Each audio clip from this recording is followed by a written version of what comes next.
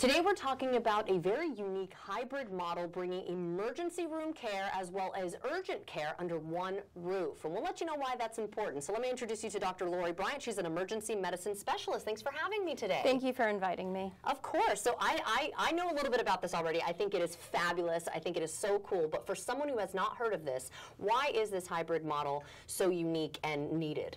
Essentially, we are the only institution in Northeast Florida providing this service where you can check in and we take the guesswork out. Mm-hmm. You can check in, and even if you're not understanding whether your issue is an emergency versus urgency, mm-hmm. we see it, we see everything. We take the guesswork out.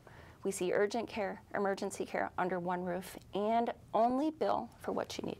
See, that's what's nice too. So somebody comes in, if they go im- immediately to an emergency room and it's an urgent care situation, they're still going to pay that emergency room price, right? So that's the difference that you would basically tell them, this isn't necessarily an emergency, this is more of an urgent care. We're going to have you go to this route. Absolutely. And then you don't have to pay as much, which, like we were saying earlier, every dollar counts. You only pay for what you need. Yep. You shouldn't have to pay the same amount for a sprained ankle or a medication refill than if you came in um, with excruciating chest pain that would warrant a further evaluation. Right. So touch on the difference then, you know, that this is from a freestanding emergency room clinic. You just said it. Freestanding emergency departments are just that it's emergency department. Mm-hmm. They bill as an emergency department visit, not an urgent care visit. So if you go to a, another local freestanding emergency department, then you will be billed a higher amount for a sprained ankle, essentially same level of service as someone coming in for chest pain. So we are able to um, differentiate the billing process. So again, you only pay for what you need. And this is all inclusive, right? All age groups you see. I see everybody, you know, 24 hours a day. Again, that's what makes us unique. Emergency departments are 24-hour places, but we are the only 24-hour urgent care center Right. embedded in an emergency department where you can come in and um, not be worried you're going to be charged more for an urgent care visit at 2 a.m. That's yeah, that's wonderful. I didn't even think about that part, the 24-hour portion. Um, so how has it been received so far since opening?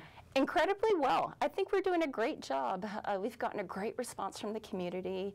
Uh, it's very uh, reinforcing that we're making an impact. Yes. Reading the Google reviews, getting immediate feedback from patients, um, seeing them happy that they're not waiting four hours in a waiting room for, say, an urgent care uh, concern when I can see them, treat them officially, get them what they need, Right.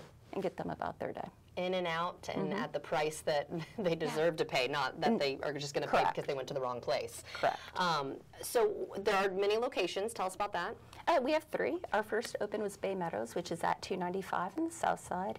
Second was New Kings. Uh, that's at New Kings Road and Dunn Avenue, um, north of here. And the last one to come on board was Lane Avenue. That was mid-April, and that's at Lane Avenue and I-10. Wonderful. Well, thank you so much for having me today. I've, even though I knew a little bit about it, I feel like I learned something new every time, and I know this is a game changer for a lot of people. So thank you again, and, and also for what you do, Thank you. I appreciate you. of course. And if you'd like to see this interview again, you know you can head to our website.